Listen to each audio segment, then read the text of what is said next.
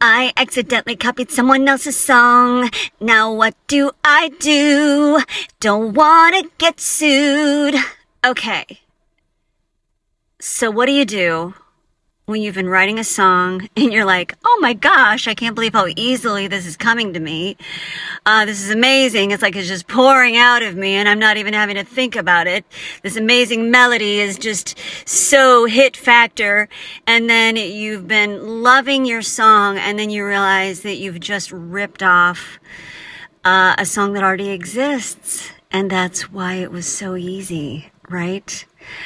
Um, this just happened to me. Yeah, it just happened to me. And in this case, I wasn't copying anyone else. I was copying myself. Uh, I, I was like, oh, this is just coming to me. I'm, and it's, it's money work. It's, it's work that I'm doing for a client. And, uh, the problem is that it's a song that I, I'm copying a song I wrote for the same client last year. Now the rhythms are different, but my pitch patterns are the same.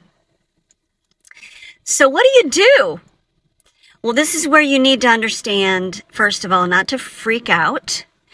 Sometimes one or two tiny tweaks can take something that feels like it's copying something else and completely disassociate it.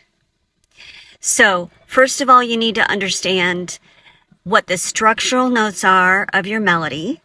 So, in terms of pitch, if you're thinking of pitch patterns, um, the the pitches that land on the strong beats, the one and the three of a four four time, or the one E and uh, it's a one and two and are the stronger beats than the e and the uh.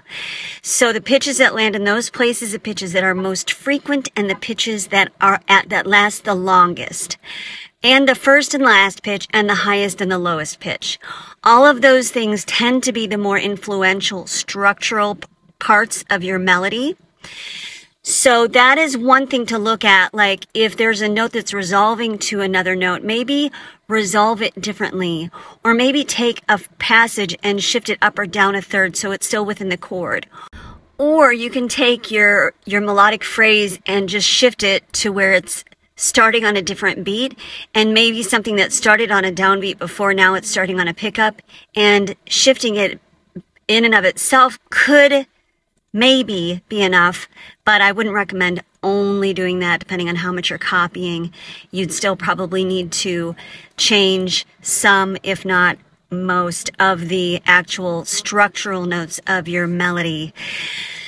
But I I'm saying this to let you know that it happens to the best of us. It happens to everyone. It's inevitable. Don't freak out about it. You can edit it. You don't have to throw the whole thing out. You can edit. And if you edit in a smart way, you can totally disassociate what you've done that is copyright infringement and make it unique and you can salvage it.